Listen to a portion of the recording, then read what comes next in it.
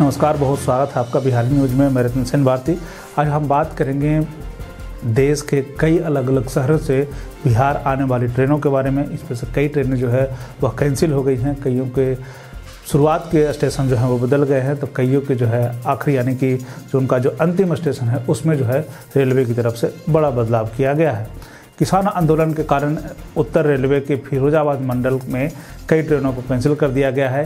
कई ट्रेनों के रूट में बदलाव किया गया है। पूर्व मध्य रेलवे के विभिन्न स्टेशनों से चलाई जाने वाली ट्रेनों को निस्तारीकरण, यानी कि उन्हें रद्द जो है कर दिया गया है और कई को शॉर्ट टर्मिनेशन शॉर्ट ओरिजिनेशन किया गया है। बता दें कि इसमें अमृतसर, जयनगर, कोलकाता, जम्मू तवी, हावड़ा, अमृतसर, पटना, जम्मू तवी, अर्चना एक्सप्रेस समेत 19 ट्रेनें प्रभावित हुई हैं। ऐसे में कहा जा रहा है कि पंजाब से आने वाली लगभग ट्रेनें कैंसिल कर दी गई है। इन ट्रेनों को किया गया है रद्द। तो सबसे पहले हम बात करेंगे ट्रेनों के बारे में। अमृतसर से 29 दिसंबर 2021 को चलने वाली चौदह छः अमृतसर जयनगर एक्सप्रेस निरस्त रहेगी। दरभंगा से 1 जनवरी 2022 से चलने वाली पंद्रह दरभंगा अमृतसर एक्सप्रेस रद्द कर दी गई है। अमृतसर से 29 दिसंबर 2021 को चलने वाली 15 अमृतसर दरभंगा एक्सप्रेस रद्द कर दी गई है।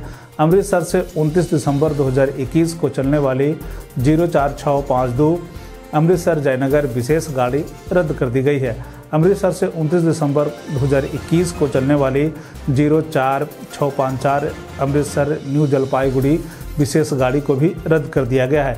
जयनगर से 31 दिसंबर 2021 को चलने वाली चौदह छः सौ उनचास जयनगर अमृतसर एक्सप्रेस को भी रद्द कर दिया गया है। जयनगर से 31 दिसंबर 2021 को चलने वाली ज़ीरो पाँच छः पाँच एक जयनगर अमृतसर एक्सप्रेस रद्द कर दी गई है। कोलकाता से 28 दिसंबर 2021 को चलने वाली तेरह एक सौ इक्यावन कोलकाता जम्मू तवी एक्सप्रेस को भी रद्द कर दिया गया है। अब हम बात करते हैं कुछ ट्रेनों के बारे में जिनका कि आखिरी स्टेशन जो है, उसमें जो है बदलाव किया गया है।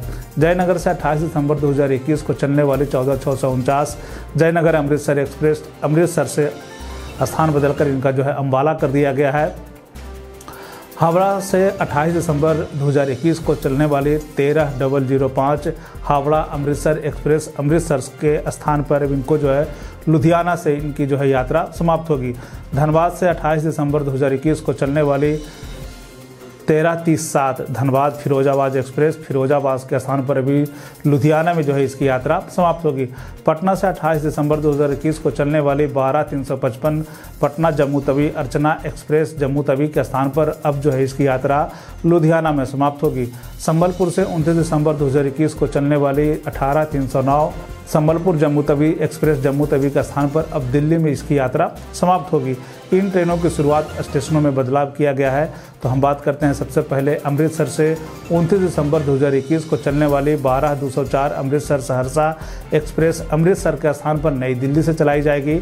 जम्मू तवी से 29 दिसंबर 2021 को चलने वाली बारह तीन जम्मू तवी पटना एक्सप्रेस जम्मू तवी के स्थान पर लुधियाना से इसकी यात्रा प्रारंभ होगी। अमृतसर से उनतीस दिसंबर 2021 को चलने वाली तेरह डबल ज़ीरो छः अमृतसर हावड़ा एक्सप्रेस अमृतसर के स्थान पर लुधियाना से चलाई जाएगी। फिरोजपुर से 29 दिसंबर 2021 को चलने वाली तेरह तीन सौ आठ फिरोजपुर धनबाद एक्सप्रेस फिरोजपुर के स्थान पर लुधियाना से चलाई जाएगी। माता वैष्णो देवी कटरा से 29 दिसंबर 2021 से चलने वाली पंद्रह छः सौ छप्पन श्री माता वैष्णो देवी कटरा कामाख्या एक्सप्रेस श्री माता वैष्णो देवी कटरा के स्थान पर अभी यह लुधियाना से चलाई जाएगी। जम्मू तवी से उनतीस दिसंबर 2021 को चलने वाली तेरह एक सौ बावन जम्मू तवी कोलकाता एक्सप्रेस जम्मू तवी के स्थान पर सहारनपुर से चलाई जाएगी। जम्मू से उनतीस दिसंबर 2021 को चलने वाली पंद्रह छः सौ बावन जम्मू तवी गुवाहाटी एक्सप्रेस जम्मू तवी के स्थान पर अब अम्बाला से चलाई जाएगी। तो एक तरह से कल रेलवे की तरफ़ से जो है बड़ा बदलाव किया गया। आठ ट्रेनें कैंसिल कर दी गई है।